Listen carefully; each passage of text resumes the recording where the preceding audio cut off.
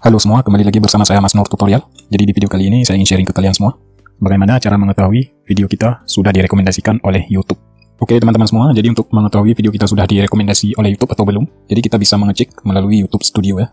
Jadi langkah pertama, teman-teman buka aplikasi YouTube Studio, aplikasi YouTube Studio versi seluler aja ya.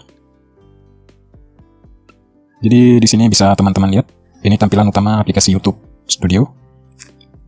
Jadi teman-teman cek di menu konten, jadi untuk mengeceknya teman-teman bisa klik salah satu video teman-teman. Jadi sebagai contoh, di sini saya akan mengklik video ini, jenis video yang akan ditolak monetisasi YouTube. Jadi teman-teman klik saja. Ini sebagai contoh saja teman-teman ya. Lalu teman-teman scroll ke bawah, klik di buka analisis video. Nah setelah tampil seperti ini, jadi di sini bisa teman-teman lihat pada menu ringkasan di fitur penayangan. Ini bisa teman-teman lihat ya.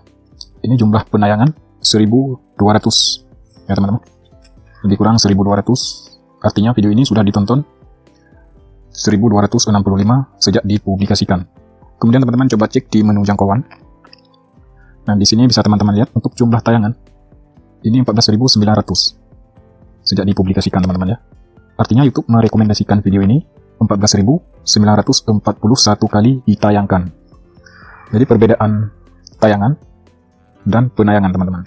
Jadi untuk penayangan ini ini maksudnya adalah uh, jumlah yang sudah ditonton. Ya teman-teman. Jadi untuk di menu jangkauan di tayangan ini, yang dimaksud dengan tayangan ini adalah jumlah video kita direkomendasikan di uh, YouTube teman-teman. Jadi nanti saya akan jelaskan apa yang dimaksud dengan tayangan ini. Ya, teman-teman bisa cek di penayangan, kemudian teman-teman cek di tayangan.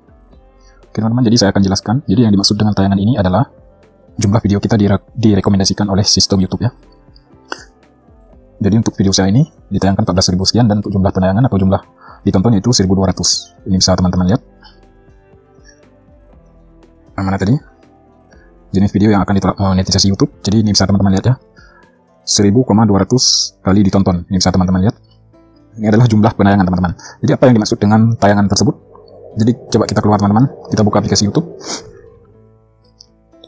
Nah, yang dimaksud dengan tayangan ini teman-teman. Ini ini tayangan Artinya YouTube merekomendasikan video ini di beranda YouTube. Ini adalah tayangan. Nah, kalau sudah tampil ke beranda YouTube seperti ini, artinya YouTube sudah merekomendasikan video kita teman-teman ya. Nah, ini adalah tayangan. Jadi, kalau penayangan artinya video kita yang video kita yang sudah ditonton. Jadi, yang dimaksud dengan tayangan adalah seperti ini teman-teman. Nah, ini adalah tayangan. Uh, berapa kali video kita disebarkan, ya, ditayangkan uh, seperti ini. Jadi, kalau kita klik, sebagai contoh saja saya akan klik yang ini teman-teman. Oke, ya. Jadi kira-kira 2024 milik siapa? Milik mereka yang bersiasat demi memperoleh kembali hak kebenaran. Amin. Perempuan dulu bertudung, laki-laki jangan jadi penjahat. Seperti ini. Kalau ini adalah ikuti terus kajian bahwa Figaro. Oke teman-teman, jadi uh, itulah ya sedikit sharing daripada saya. Semoga bermanfaat. Jangan lupa like, komen, dan subscribe. Terima kasih. Sampai ketemu di video tutorial selanjutnya.